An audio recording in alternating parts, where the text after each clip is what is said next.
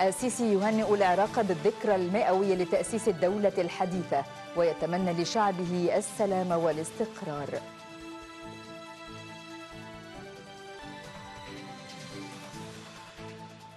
على خلفية التوترات مع أوكرانيا روسيا تقول إن 95% من منصات إطلاق الصواريخ النووية في حال استعداد دائم للاستخدام القتالي.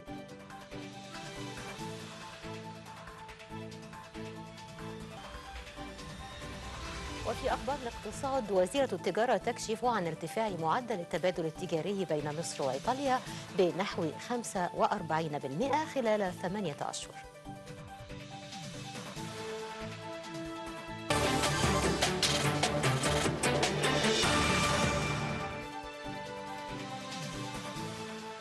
تفاصيل نشر مشاهدينا الكرام أهلا بحضراتكم.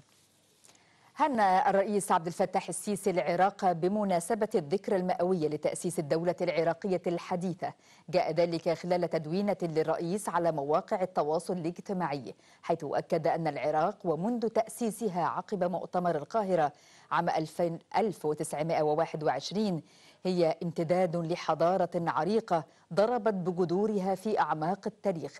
وعرب الرئيس السيسي عن أمنياته لشعب العراق العظيم بالسلام والأمن والاستقرار وأن يظل العراق دائما زخرا للأمة العربية.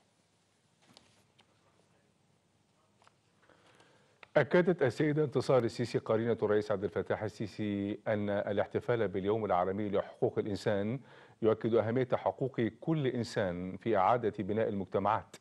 وشهدت السيدة انتصار السيسي عبر حسابها على مواقع التواصل الاجتماعي على أن مصر استطاعت خلال الفترة الأخيرة ترسيخ أهم المبادئ الأساسية لحقوق الإنسان بتوفير حياة كريمة لكل المصريين وتحقيق التنمية المستدامة في مختلف المجالات مؤكدة أن أبناء مصر يستحقون الأفضل دائما.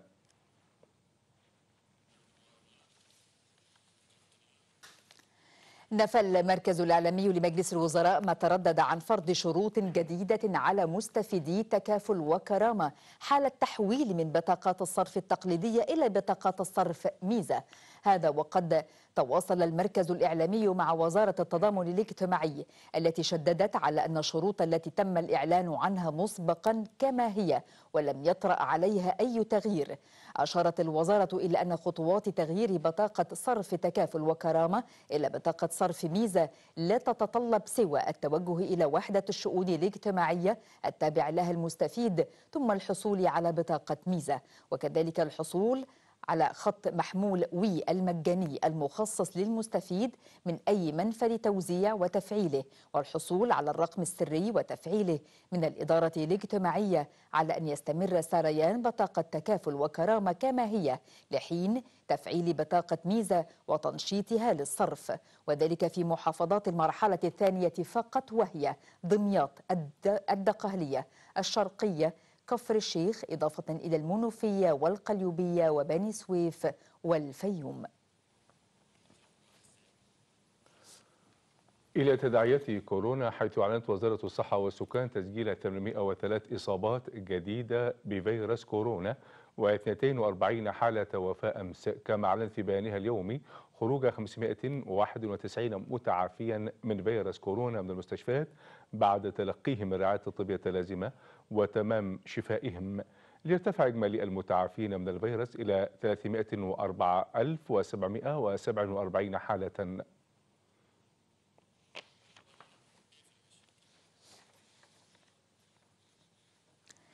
عالميا أعلنت جامعة جون هوبكنز الأمريكية أن حصيلة الإصابات بفيروس كورونا ارتفعت إلى أكثر من 268 مليونا ونحو 600 ألف حالة بينما تخطت حصيلة الوفيات حاجز الخمسة ملايين حالة وفاة. أوضحت جامعة جون هوبكنز أن الولايات المتحدة سجلت أكبر عدد من حالات الإصابة والتي بلغت أكثر من 49 مليون إصابة. في حين تجاوزت حصيلة الإصابات في الهند ال 34 مليون إصابة. لتحتل بذلك المرتبة الثانية تليها البرازيل بأكثر من 22 مليون حالة. في ناحية أخرى تجاوزت الإصابات الجديدة بفيروس كورونا في كوريا الجنوبية 7000 حالة يومية وذلك لليوم الثالث على التوالي. في هذا الإطار حضر رئيس الوزراء كيم بوم كيوم خلال اجتماع حول جهود مكافحة الفيروس. حذر من أن كوريا الجنوبية قد تضطر إلى اتخاذ تدابير استثنائية ما لم يتباطأ انتشار الفيروس قريبا. أضاف كيم أن الحكومة ستسارع أيضا في إعطاء جرعات اللقاح المعززة بدءا من الأسبوع المقبل.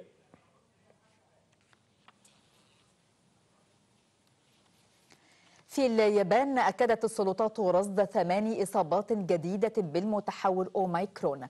وذكرت هيئة الإذاعة اليابانية أنه بذلك يكون قد تم رصد إجمالي 12 إصابة بالمتحور الجديد في البلاد.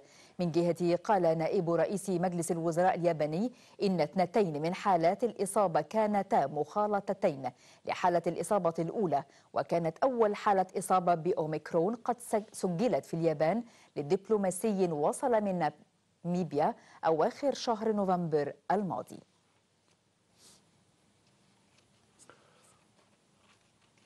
وفي روسيا سجلت السلطات نحو 31 ألف إصابة جديدة بفيروس كورونا في ال 24 ساعة الماضية.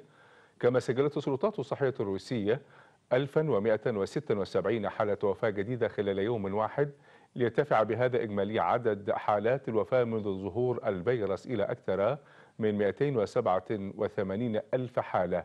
وقد ارتفع إجمالي عدد حالات الإصابة المؤكدة منذ بداية الجائحة إلى نحو 10 ملايين إصابة.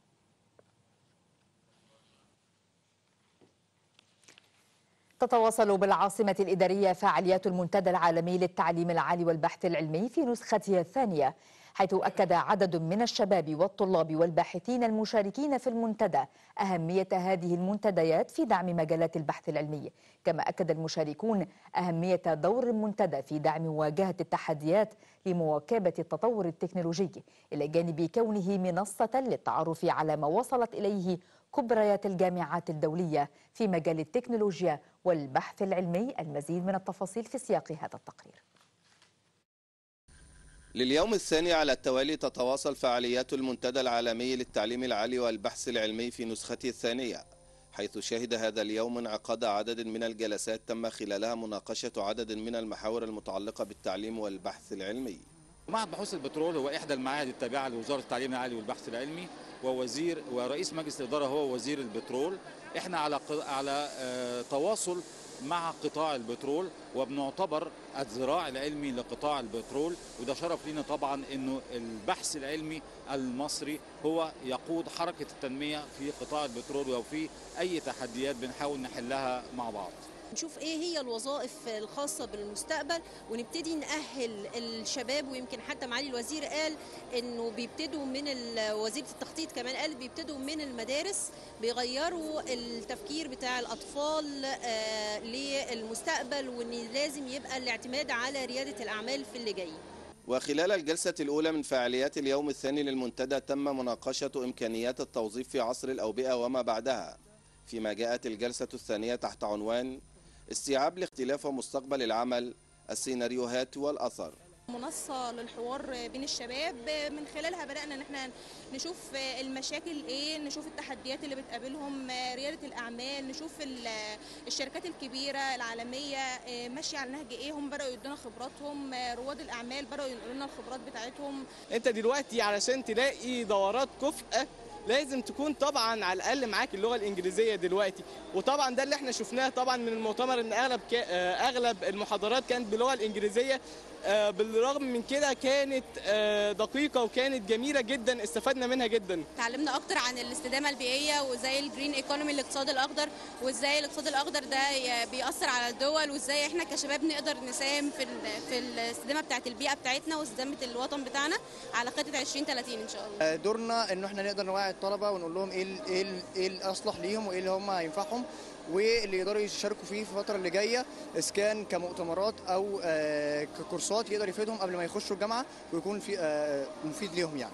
وبالتزامن مع انعقاد المنتدى الثاني للتعليم العالي والبحث العلمي تتواصل فعاليات الدورة الرابعة عشر للمؤتمر العام للمنظمة الإسلامية للتربية والعلوم والثقافة إيسيسكو بمشاركة 49 دولة والذي اختتمت فعالياته عصر هذا اليوم. مشاركة عدد من طلاب الجامعات وشباب الدارسين بالمنتدى العالمي الثاني للتعليم العالي والبحث العلمي يعكس اهتمام الدولة بإعداد جيل قادر على مواكبة التطور التكنولوجي وتأهيلهم لسوق العمل. من مقر انعقاد المنتدى محمود إسماعيل التلفزيون المصري. مشاهدينا الكرام للمزيد من المتابعة ينضم إلينا من مقر انعقاد المنتدى العالمي للتعليم العالي والبحث العلمي مراسل أخبار مصر محمود إسماعيل. مساء الخير محمود وبالتأكيد لديك المزيد من التفاصيل والمتابعة لفعاليات هذا المنتدى إليك محمود.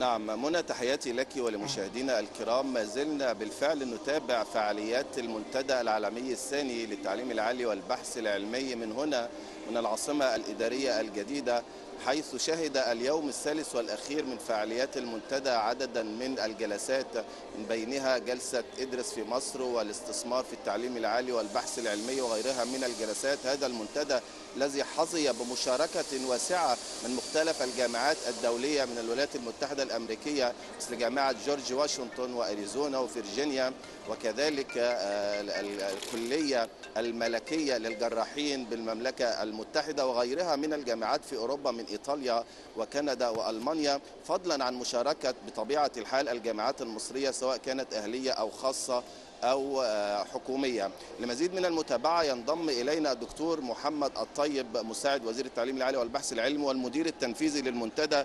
برحب بحضرتك دكتور محمد وكلمنا عن يعني بشكل عام عن أهمية انعقاد مثل هذا المنتدى استضافة مصر لمثل هذا المنتدى في دعم التكنولوجيا والتعليم العالي ومواكبة التطور التكنولوجي الحاصل في العالم. الحقيقة خليني أقول لحضرتك أن أنا أسعد واحد موجود النهاردة. أه قبل ما أبدأ أي كلام أنا محتاج أشكر السيد رئيس الجمهورية على الحقيقة كريم رعايته وحضوره وتشريفه لينا ودعمه الدائم للمنتدى ولملف التعليم العالي والبحث العلمي والابتكار بشكل عام في جمهورية مصر العربية. بالإضافة لكده يعني مداخلاته الثرية جدا اللي اسرى بيها الحوار وهو دايما دائم التوجيه والدعم للوزارة بكافة ملفاتها الحمد لله.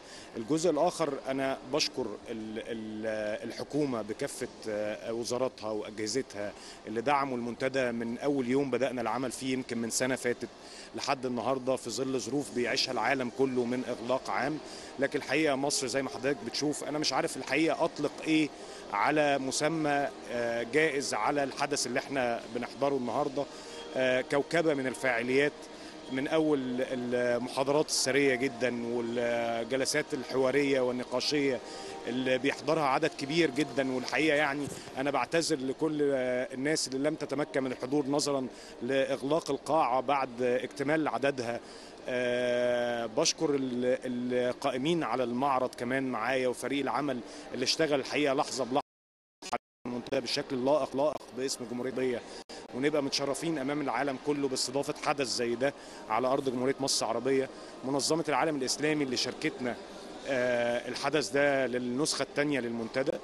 الحقيقة الجزء الهام الثاني الخيمة الشبابية أو حوارات الشباب وريادة الأعمال ودعمنا الدائم ليهم في إن إحنا نتوصل إلى مشروعات حديثة وابتكارات للطلبة والشباب دول وتوجيههم. حضرتك عارف المنتدى معني بشكل أساسي في جلساته بمستقبل التوظيف وإزاي نقدر نسد الفجوة ما بين التعليم داخل الجامعات وما بين التوظيف واحتياجات سوق العمل المحلي والإقليمي والدولي. بالإضافة لكده عندنا خليني أقول لحضرتك بعض الأرقام المهمة جدا إن إحنا تواجد معانا أكثر من 100 متحدث أكثر من 77 دولة مشاركة داخل المنتدى والمؤتمر العام لمنظمة العالم الإسلامي. شارك معانا أكثر من 50 متحدث داخل الجلسات. أنا آسف بقصد 77 متحدث داخل 50 جلسة حوارية ونقاشية. نعم. الحقيقة شارك العديد من العارضين كمان لأن إحنا بنسوق بنستغل الأحداث اللي زي كده وبنسوق للتعليم المصري والدراسة في مصر وده بيزود زي ما حضرتك عارف السياحة التعليمية لجمهورية مصر العربية اللي كانت رائدة وهتظل رائدة بإذن الله في مجالات التعليم بكافة أنواعها. الحقيقة عندنا دعم لملف البحث العلمي والابتكارات والابتكار بشكل كبير جدا. أنا يعني بشكر كمان ثقة وزير التعليم العالي والبحث العلمي في فريق عمل الوزارة إنه يقدر ينظم حدث عالمي بالشكل ده. الحقيقة كمان قطاعات الأخبار والصحافة والإعلام اللي شاركونا من أول يوم لحد النهارده متواجدين معانا بيغطوا الفعاليات عشان الناس تحضر وتشهد معانا الأحداث اللي بتتم على أرض مصر. المجموعة الكبيرة من المتخصصين على مستوى العالم المتواجدين نعم. معانا وعدد الزائرين لل- لل- للمنتدى وفعالياته. إحنا بنتحدث على أكثر من 24 ألف مشارك. توقعاتنا كانت بتقول 13 ألف السنة دي بعد ما كنا النسخة الأولى 8000 لكن الحمد لله وصلنا 24 ألف مشارك حتى هذه اللحظة. وإن شاء الله في زيادة على مدار اليوم. إحنا بنختتم أعمالنا النهاردة إن شاء الله مساء. وأنا بتمنى للجميع مشاركة طيبة. بشكر الجامعات بالمناسبة الجامعات الحكومية والخاصة والأهلية والدولية. بشكر المراكز والمعاهد البحثية اللي شاركت معانا من كافة أنحاء العالم. الحقيقة حوارات ثرية جدا استفدنا منها كتير جدا. وناقشنا قضايا مهمة وساخنة على مستوى الملفات اللي بكلم حضرتك عنها دي على مستوى العالم. والحقيقة استفدنا فيها بشكل كبير جدا. وبإذن الله تعلن توصيات هامة جدا في حفل الختام يعلنها السيد وزير التعليم العالي والبحث العلمي يستفيد منها الحاضرين وغير الحاضرين وبنعمل عليها دايما. وهنقول النهارده إيه اللي استفدناه من توصيات 2019 وإيه اللي بنستفيده النهارده من توصيات 2021 النسخة الثانية بالإضافة برضو أقول لحضرتك على إنه تم توقيع العديد من البروتوكولات والاتفاقيات آه، مع وزارة التعليم العالي من مختلف دول العالم. تم عقد العديد من اللقاءات الثرية جدا. تم زيارة لعدد كبير قوي من الوفود الأجنبية لمشاريعنا القومية اللي بتتم في جميع أنحاء الجمهورية. الحقيقة أنا سعيد جدا و... و... وبحب أشكر كل من ساهم في إنجاح هذا الحدث وإن شاء الله يكمل على خير بإذن الله. شكرا جزيلا دكتور محمد والشكر موصول للس- للسادة المشاهدين وعودة اليك منى بشكرك. شكر جزيل مراسلنا مراسل أخبار مصر محمود إسماعيل. كنت معنا مباشرة من مقر انعقاد المنتدى بالعاصمة الإدارية الجديدة. شكرا جزيلا لك محمود.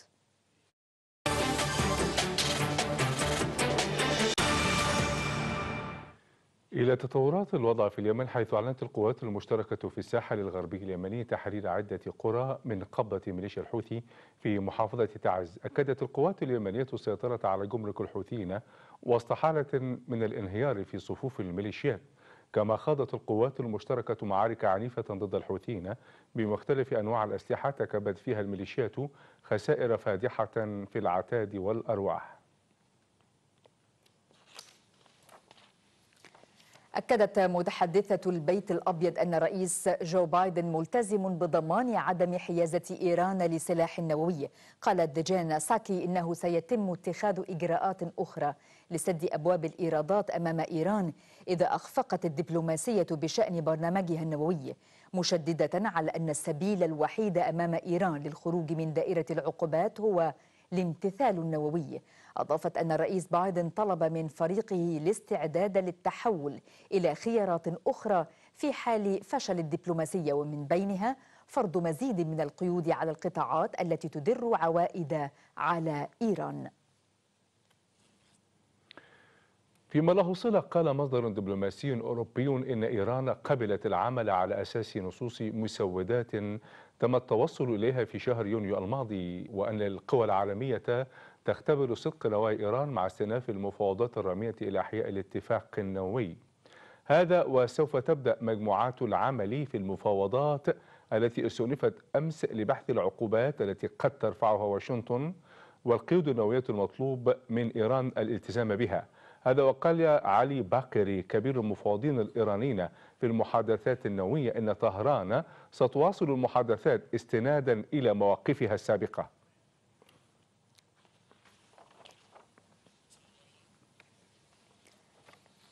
أعلنت وزارة الدفاع الروسية اعتراض طائرات أمريكية وفرنسية فوق المياه المحايدة باتجاه الحدود الروسية قبل تغيير مسارها ولم يحدث أي انتهاك للحدود.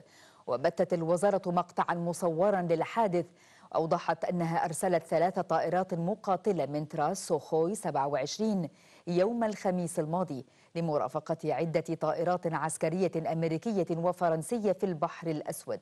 وشملت مجموعة الطائرات التي تم اعتراضها طائرتان مقاتلتان فرنسيتان وطائرتا استطلاع أمريكية وطائرة فرنسية للتزود بالوقود. في ناحية أخرى تبادلت روسيا وأوكرانيا الاتهامات بعد انهيار مسعى للاتفاق على وقف إطلاق نار جديد بشرق أوكرانيا أمس مع تصاعد التوتر بفعل استمرار تعزيزات القوات الروسية قرب الحدود. في وقت سابق اعتبر الرئيس الروسي فلاديمير بوتين أن النزاع في شرق أوكرانيا ما بين الجيش الأوكراني والانفصاليين الموالين لروسيا يشبه الإبادة. يأتي هذا في وقت أعلنت فيه روسيا أن أكثر من 95% من منصات إطلاق الصواريخ النووية في حالة استعداد دائم للاستخدام القتالي. وأوضحت هيئة الأركان العامة الروسية أن غواصة نووية جديدة مزودة بصواريخ باليستية سوف تدخل قريبا في التشكيل القتالي للقوات النووية الاستراتيجية البحرية.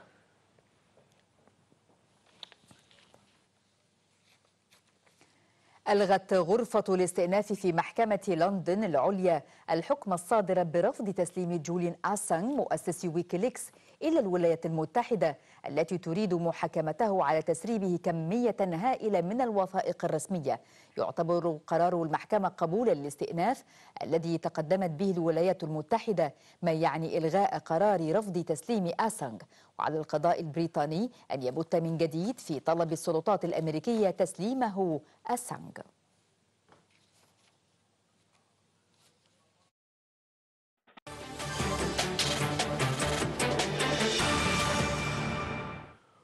واصلت أجهزة وزارة الداخلية جهودها لضبط جرائم غش مستلزمات الإنتاج الزراعي والداجني إلى جانب جرائم الإضرار بالبيئة. في هذا الإطار شنت الإدارة العامة لشرطة البيئة والمسطحات حملات تفتيشية تستعرض أو نستعرض نتائجها في هذا التقرير.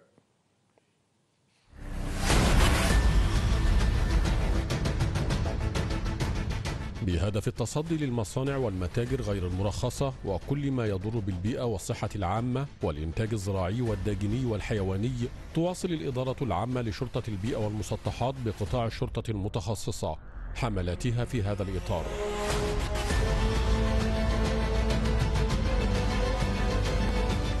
فقد استهدفت الإدارة ثلاثة مصانع ومتجرين وعيادتين بيطريتين وثلاثة مخازن بنطاق محافظتي الجيزة والإسكندرية وهي غير مرخصة وتفتقد للاشتراطات الصحية والمعايير البيئية. يتم من خلالها تصنيع المنتجات الغذائية والأعلاف الحيوانية والمبيدات والأسمدة والمخصبات الزراعية والأدوية البيطرية حيث تم ضبط 720 طن مواد خام ومنتج نهائي لأسمدة ومخصبات زراعية مغشوشة ومقلدة و150 طن مواد خام ومنتج نهائي لأعلاف حيوانية بدون ترخيص وأكثر من 21 طن مواد غذائية متنوعة بدون ترخيص. إضافة إلى أكثر من 24 ألف عبوة كرتونية لمواد غذائية بدون ترخيص و1300 عبوة أدوية بيطرية منتهية الصلاحية. وبنطاق محافظتي القليوبية والبحيرة استهدفت الإدارة أربعة مصانع وثلاثة مخازن ومتجر وثلاث شركات بدون ترخيص لإنتاج وتعبئة المواد الغذائية والأسمدة والمخصبات الزراعية والأعلاف الحيوانية.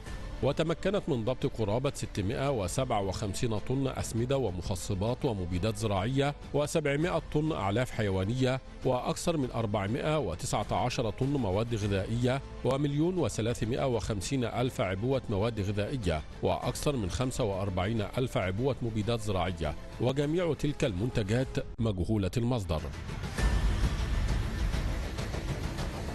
وبنطاق مديرية أمن المنوفية نجحت الإدارة في ضبط خمسة مصانع بدون ترخيص لتعبئة الأسمدة والمخصبات الزراعية وكذا المخلفات البلاستيكية المستخدمة في تصنيع الأدوات المنزلية. بداخلهم قرابة 17 طن مخصبات وأسمدة زراعية مغشوشة ومقلدة ونحو 96 طن مخلفات بلاستيكية مجهولة المصدر. الإدارة نجحت في ضبط مصنعين بدون ترخيص بالقليوبية والإسماعيلية لتعبئة وتداول المبيدات الحشرية والعقاقير البيطرية وتدوير المخلفات البلاستيكية بإجمالي مضبوطات بلغت قرابة 193 ألف عبوة مبيدات حشرية منتهية الصلاحية وأدوية بيطرية ومخصبات زراعية مقلدة. وقرابة 130 طن مخلفات بلاستيكية ومنتج نهائي مغشوشة. وأسفرت جهود الإدارة بنطاق محافظة الجيزة عن ضبط تسعة مصانع بدون ترخيص لإعادة تدوير المخلفات البلاستيكية والمواد الغذائية بإجمالي مضبوطات بلغت 923 طن مواد خام ومنتج نهائي لأدوات معدنية ومخلفات بلاستيكية مغشوشة ومقلدة وقرابة 153 طن مواد خام ومنتج نهائي لمواد غذائية مجهولة المصدر. عبد الله بركات التلفزيون المصري.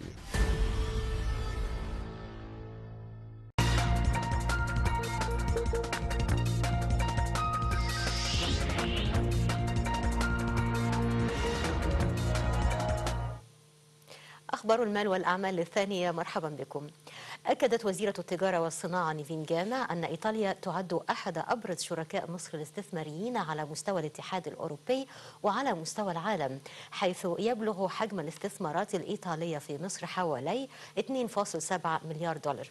كما يبلغ عدد الشركات الإيطالية العاملة بالسوق المصري 1200 شركة تعمل في مختلف المجالات.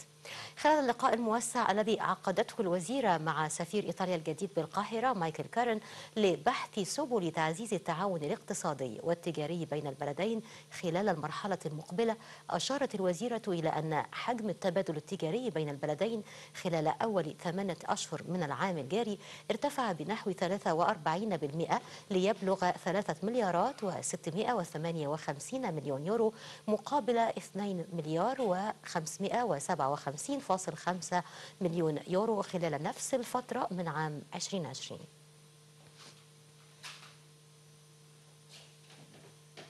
كشفت وزارة الزراعة واستصلاح الأراضي عن ارتفاع صادرات مصر الزراعية إلى خمسة ملايين وثلاثمائة ألف وسبعمائة وسبعة وخمسين طنا خلال الفترة من الأول من يناير الماضي وحتى الثامن من ديسمبر الجاري جاء ذلك في تقرير تلقاه السيد القصير وزير الزراعة واستصلاح الأراضي حول إجمالي الصادرات الزراعية. ذكر التقرير أن قائمة أهم الصادرات الزراعية عن هذه الفترة ضم الموالح البطاطس البصل الفراولة الرمان فضلا عن البطاطا الفاصوليا البنجر الجوافة والفلفل. قالت وزارة القوى العاملة إن مديرية القوى العاملة بمحافظة بني سويف قامت بتعيين 1057 شابا من مختلف المؤهلات منهم ستة من ذوي الهمم. أشارت الوزارة إلى أن ذلك تم من خلال شهادة القيد المرتدة كعب العمل بشركات القطاع الخاص والاستثماري من المسجلين بمكاتب التشغيل التابعة للمديرية. وبلغوا 2662 شابا فضلا عن استخراج 812 ترخيص مزاولة الحرفة و708 شهادات قياس مستوى المهارة.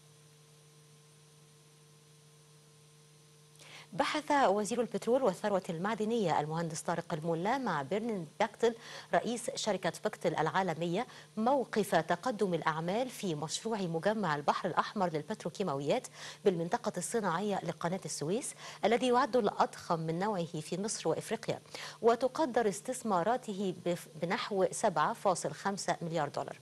جاء اللقاء على هامش مشاركة الملا في مؤتمر البترول العالمي بمدينة هيوستن الأمريكية حيث بحث الجانبان الاستعدادات للقمة العالمية للمناخ بشرم الشيخ العام المقبل فضلا عن التعاون في مجال التدريب والدعم الفني.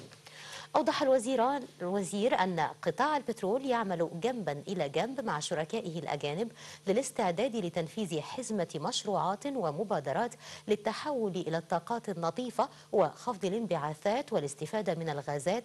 ثم إطلاق سيتم إطلاقه خلال القمة العالمية للمناخ التي ستستضيفها مصر في عام 2022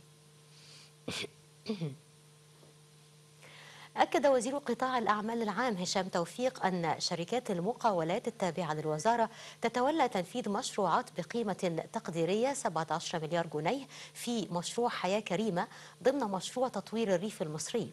وأوضحت الوزارة في بيان لها أن الوزير تلقى تقريرا حول نسب الإنجاز الفعلية للمشروعات الجارية للشركات التابعة التي تشمل شبكات مياه وصرف صحي ومبان خدمية ومحطات معالجة ومحطات رفع وشبكات انحدار وأعمال كهرباء وغيرها.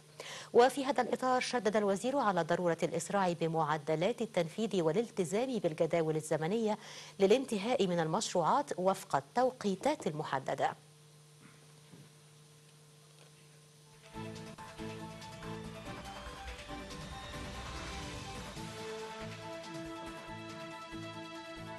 وبالاقتصاد ننهي معكم هذه النشرة الإخبارية المفصلة وهذا تذكير بأهم العناوين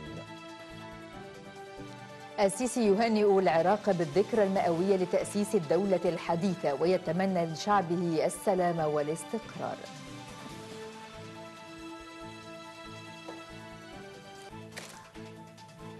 على خلفية التوترات مع أوكرانيا روسيا تقول أن 95% من منصات إطلاق الصواريخ النووية في حال استعداد دائم للاستخدام القتالي.